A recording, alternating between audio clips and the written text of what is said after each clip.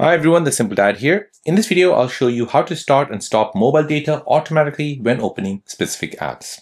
So using Samsung's modes and routines, you can create an automation that turns mobile data on when you open a specific app and it turns it off when you close it.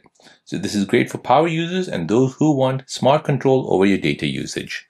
So this is great for people who have limited data allowance on their mobile data. And if you want to control how your data is being used, so when you don't open the app or when you're using it, mobile data will switch off. So let me show you how to do this. So here I'll show you an example. I've already set an automation. So if I go ahead and open up Facebook, you'll see that mobile data is switched on, 4G is turned on. If I press home and move away from the app, you'll see that 4G data will switch off. Again, same thing happens for YouTube. You'll see that icon there. If I press home again, that icon will then disappear.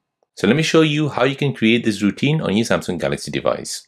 So first go ahead and open up the Modes and Routine app, search for Modes and Routine. Now in the Modes and Routine, tap on Routine and we'll tap on the plus sign and we'll go ahead and create an if and then statement. So first if, so if app is opened, now we'll go ahead and specify what apps. So we'll go ahead and search for, let's say TikTok. You can go ahead and add many other apps as well, but I've just added one for now. Then I want my mobile data to switch on. So here on, tap done, and then go ahead and tap on save, and then give it a name, tap done. Now, when you go ahead and open up TikTok, you'll see mobile data is switched on. When I press home, mobile data will switch off.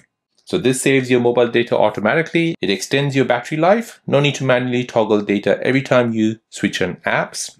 This is perfect for apps that require data but shouldn't stay connected afterwards. So there you go guys. That is how to start and stop mobile data automatically when opening specific apps.